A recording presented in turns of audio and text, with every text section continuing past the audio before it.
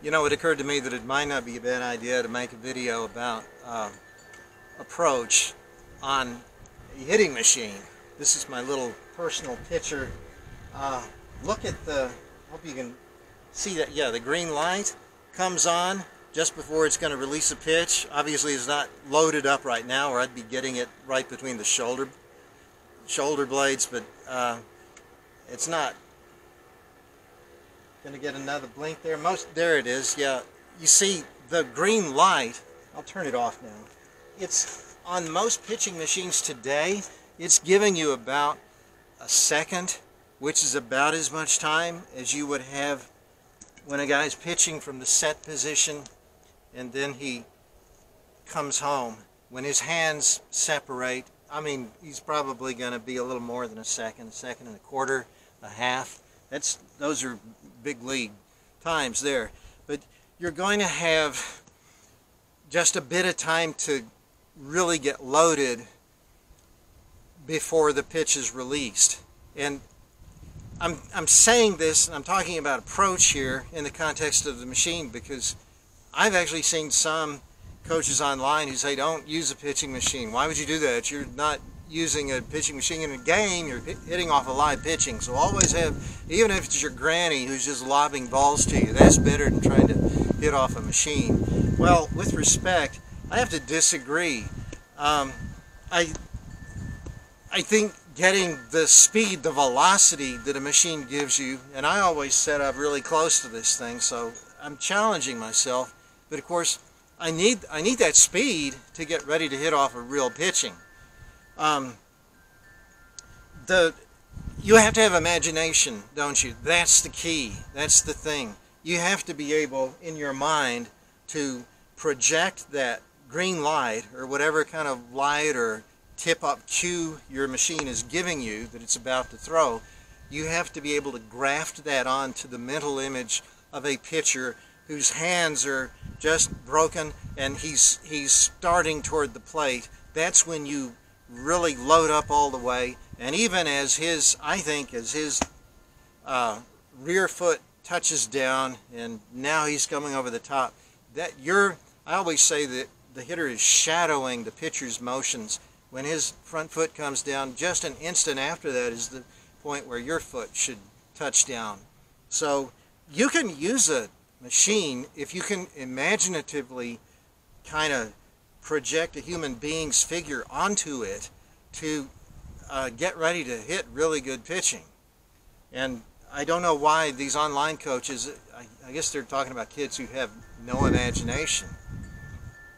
I, I was never told when I was a kid how to use a machine. Of course, when I was a kid, we had the old gas-powered machines. They actually had uh, levers, kind of like an arm, and you could see the ball roll into the little net, and then the thing would, and you could imagine, I guess, that that was a pitcher throwing a ball, but uh, I was, as a kid, I was always just standing there quaking in the cage. Just, I, I didn't know how to, no one told me how to try to process this and think of this as live pitching. And I still, even with more, better, more sophisticated uh, machines today, I don't hear coaches telling their players as they practice, okay, this is how this will help you get ready for live pitching. Think of the pitcher as being at this point, at this moment. You got to do that, coaches, if you if you want the batting practice to be of any help. Um, now, approach. That's that's why I'm putting this under the rubric of approach on in my um, headings on smallballsuccess.com. That's where I'm going to file this video away because you, are going to enter the box. You're going to have in your mind that you're looking fastball. You can think about, you know, as we do, go the other way with it or try to shoot it up the middle. But especially, even more fundamentally, your approach, your mental approach, is to find something in the activity of that machine that you can correlate to the activity of a real life pitcher.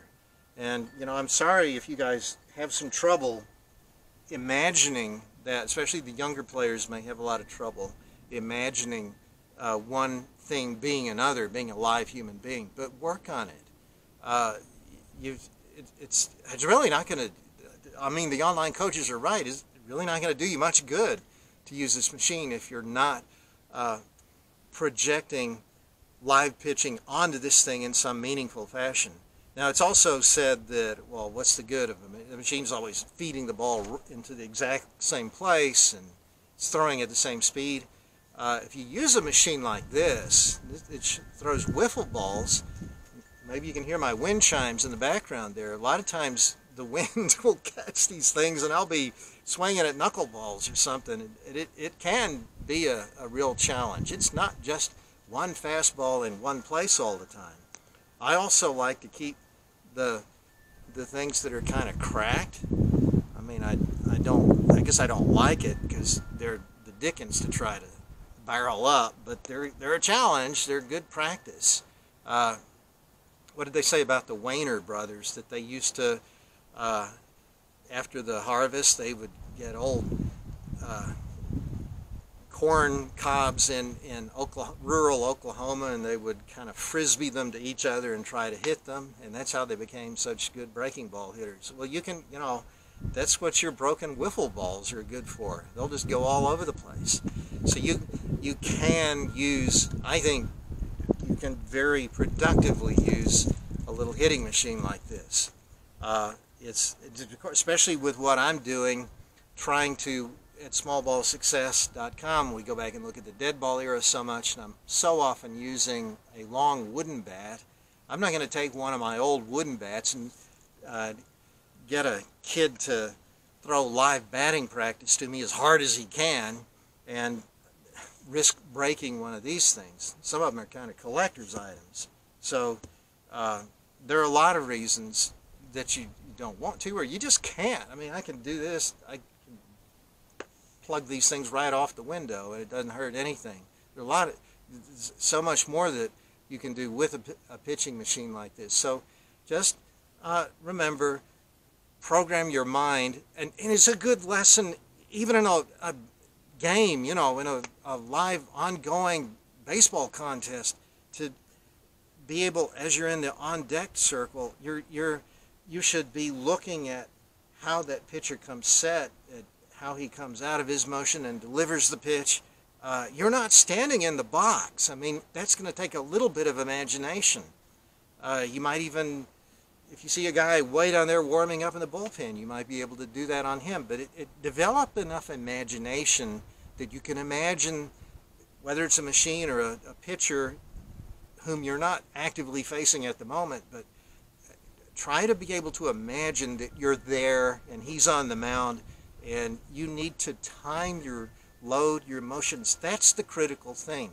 You can have, I'm just say this one more thing and then I'll stop this for now, but there are just so many things that pop into my mind when I talk about this subject. When I was a kid, I had a hitch, and that was kind of fatal. They told me to get rid of that, and when I did, I wasn't such a good hitter anymore. There's nothing wrong with a hitch. I'm going to do another video about that pretty soon. But the thing is, you have to start the, the dip of the bat at the right time. You can't do it when the ball's in the air, right? So why didn't the coaches, all they needed to do was just tell me to make an adjustment to the pitcher's motion.